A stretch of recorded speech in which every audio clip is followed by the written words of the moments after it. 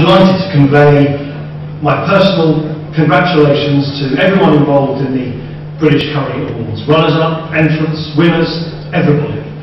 It's a fantastic time to celebrate what I think is one of the great success stories in, in Britain, the British curry restaurant industry, which has grown phenomenally in recent years, contributing billions of pounds to the British economy and creating a, a food which the nation has embraced as its favourite. For me, the British curry culture is everything that is best about our country. A blend of different continents, traditions and flavours bringing together something that is uniquely British but uniquely international at the same time.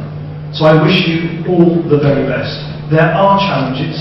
I'm acutely aware that the new immigration rules might well hit the industry hard. There are legitimate concerns about the difficulties of bringing people over from other parts of the world, from outside the European Union, to work in the industry.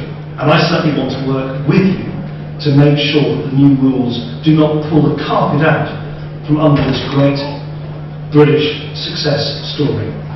So thank you for everything you've done to enrich this country and have a great evening.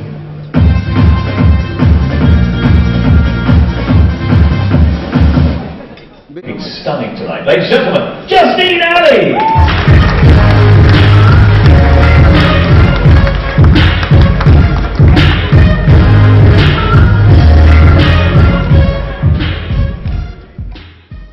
Oh my God, God, what am I doing here? I'm so nervous. Forgive me if I get my words in the wrong order. It was bad enough last year when I was only looking after the charity side of things. But it's even worse now because I've taken on the challenge to produce and direct the whole show. So if you hear a knocking noise, it'll be me being nervous. Good evening, lords, ladies, and gentlemen. I don't know how I got myself into this position. Well, actually, I do. For the last three years, I've seen the show come together in great amazement. And so I took the opportunity as a learning experience for myself. Fortunately, I have had tremendous support and courage from the industry as a whole, who have given me the kind opportunity to bring this event together. I have also had great support from my mother and my father, and huge support from the British Curry Awards team. In particular, Mohammed, Laurie and his crew, who I'd like to thank because without them, I know I would have been lost. It hasn't been easy juggling the demands of this event with my college work, and I know some people at my college may have thought I was up to no good, taking a few days off here and there. But one or two of them are here tonight, so hopefully they'll be able to vouch for the fact I haven't been skiving. This is my first time directing a show, so I'm just keeping my fingers crossed that I don't make any mistakes, but if I do, please do forgive me. My father always said, the word impossible is never found in the dictionary of food. He said, if you come across a wall and you find it difficult to cross, you break this wall and you rebuild it, but make it even better. I would like to take this opportunity to thank Enam Ali, not as my father, but for his tremendous contribution and his dedication.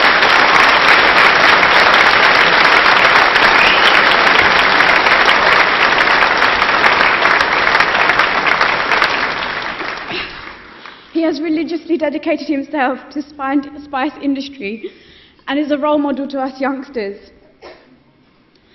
As many of you will know, each year we nominate a charity to benefit from the proceeds of the collection we make for the British Curry Awards. Last year it was the Bangladesh floods appeal, and I went there recently to hand over the money on your behalf. I was only there for four days, but I can honestly say that was the most emotional experience of my life but I was also intense, it was also intensely rewarding. I shall never forget the beaming smiles on the children's faces I met, many of whom had been orphaned by the floods. Their lives may have been crushed, but their spirit remained strong as ever. It was really exuberating to spend time with them.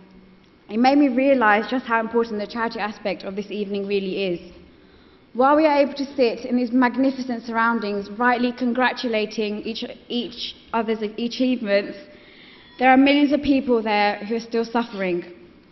So, I hope you'll show your usual generosity by digging deep into your wallets to support this year's nominated charity, the James Whale Fund for Kidney Cancer.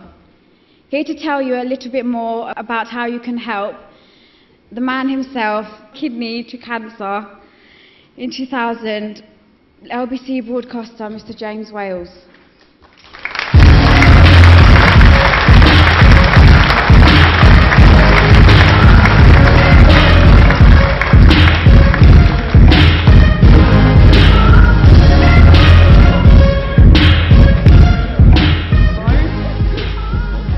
And after watching some of the scenes that you saw in Bangladesh, it makes me actually just feel a little insignificant to come up and talk about my charity.